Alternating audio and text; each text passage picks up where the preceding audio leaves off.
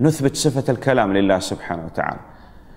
وصفة الكلام لله سبحانه وتعالى ثابتة بالكتاب والسنة والإجماع والعقل.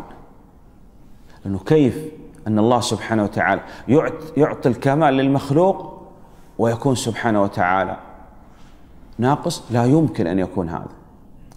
الكتاب أدلة الكتاب كثيرة جدا. في إثبات صفة الكلام لله سبحانه وتعالى. من أقوى الأدلة من أقوى الأدلة يقول وإن أحد من المشركين استجارك فأجره حتى يسمع كلام الله.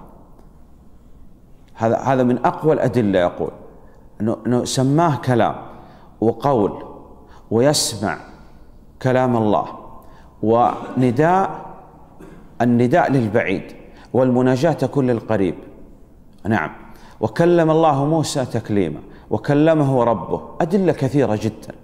من أقوى الأدلة في السنة من يقول لي أقوى الأدلة في السنة على إثبات صفة الكلام لله سبحانه وتعالى؟ حديث خولة بنت حكيم رضي الله عنها. أي إنسان ينكر صفة الكلام لله سبحانه إثبات صفة الكلام لله سبحانه وتعالى تسأله.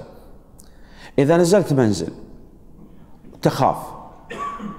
إذا استغثت كانت الاستغاثة بالمخلوق في هذا الموضع فيما لا يقدر عليه إلا الله. ما حكم هذه الاستغاثة؟ شرك أكبر صحيح. طيب عندما تنزل منزل وتخاف ماذا تقول؟ لا بد يقول أقول أعوذ بكلمات الله التامات من شر ما خلق. الاستعاذة بالمخلوق شرك أكبر في هذا الموضع. فإذا تقول أنه كلام الله صفة من صفاته استعاذ بالله وبأسمائه وصفاته فأنت موحد مثبت لله صفة الكلام. وإلا لو تقول أنه الكلام مخلوق فأنت تستعيذ بالمخلوق فيما لا يقدر عليه الله فهذا شرك أكبر. مفهوم؟ نعم. العقل؟ نعم. وإجماع الأمة.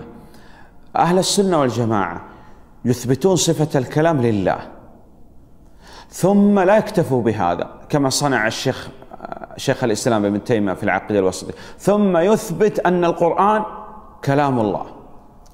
لماذا؟ لماذا يعني هذا التطويل لأنه وقع إشكال في هذه المسألة. فعندما يرد الإشكال ماذا نصنع؟ نكثر من الأدلة. الآن الشيخ سايد يطالب فلان من الناس بمليار دينار كويتي. ووجد مئة شاهد. فماذا يصنع؟ هو يكتفي الأصل يكتفي من باثنين صح؟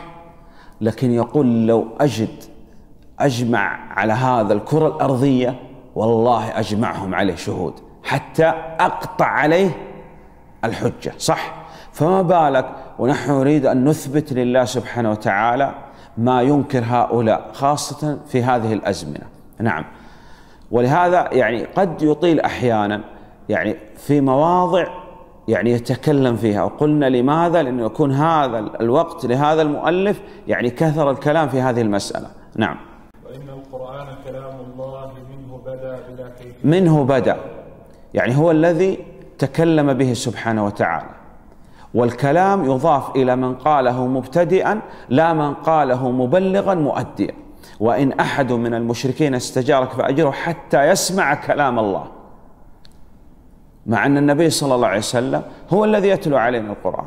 فالصوت والألحان صوت القارئ. لكنما المتلو كلام الباري سبحانه وتعالى. إذا الكلام يضاف إلى من قاله مبتدئا لا من, لا من قاله مبلغا مؤديا. نعم. منه بدأ بلا كيفية. منه بدأ. هو الذي تكلم به سبحانه وتعالى ابتداء. نعم. بلا كيفية بلا كيفية تقدم معنا. ما معنى بلا كيفية؟ نثبت أن لله كيفية تليق به سبحانه وتعالى لكن هذه الكيفية لا نعلمها والسؤال عنها بدعة. والكيفية تعلم إما بالمشاهدة أو بخبر الصادق أو برؤية المثيل إذا كان له مثيل.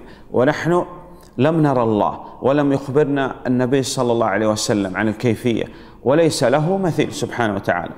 نعم.